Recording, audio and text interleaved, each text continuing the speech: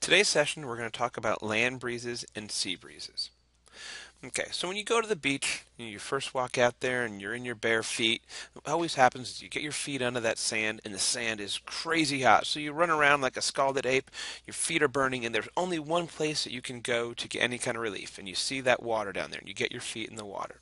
So my question is, why is it that when the sun is heating up both the sand and the water at the same rate, the same sun is heating them up, the water is cooler than the sand.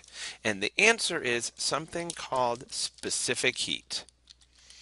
Okay, so specific heat is the amount of energy that is needed to heat up a substance.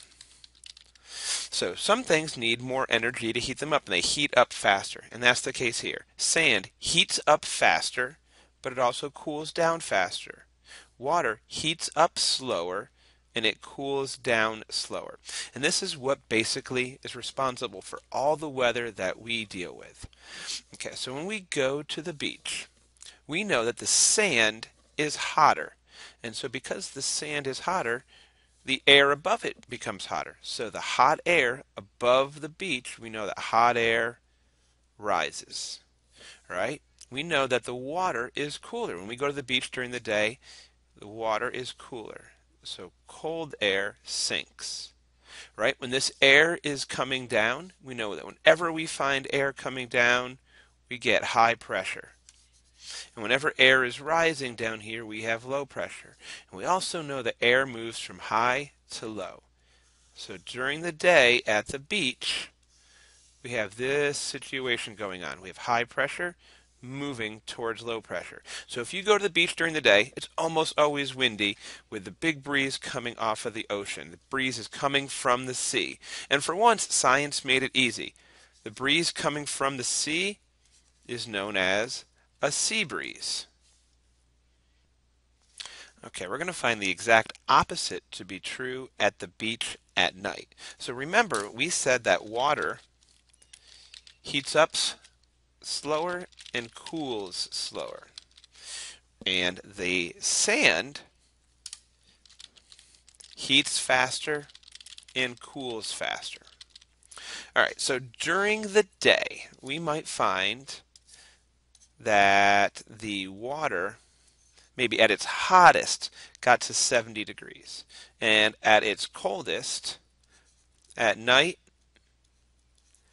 maybe the water drops to 60 degrees. But during the day the sand may get all the way up to say 95 degrees. And the land at night if you ever walked in the sand at night, you know that it feels really cool on your feet. Let's say it gets down to, say, 50 degrees at night.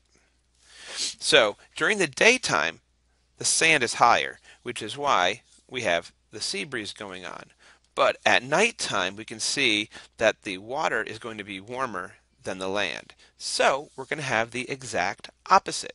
At nighttime, when this when this water is higher, water is hotter, we're going to get air rising over the water and falling over the colder sand.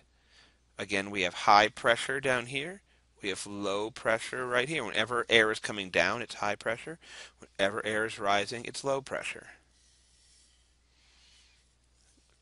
Complete this.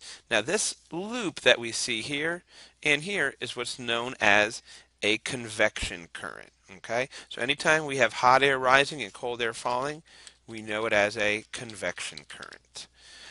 Okay, at night when the breeze is coming from the land, again, science made it easy for us for once, and we know that as a land breeze. Okay, so when you see a question about a land breeze or a sea breeze on a test, what I want you to do is just think about it. When you go there, where is it hot? During the day, you're going to find that it's hotter over the sand, and so it rises because hot air always rises because it's less dense. All right, so think about where is it hotter? During the day, it's hotter on the land. During at night, it's hotter on the water.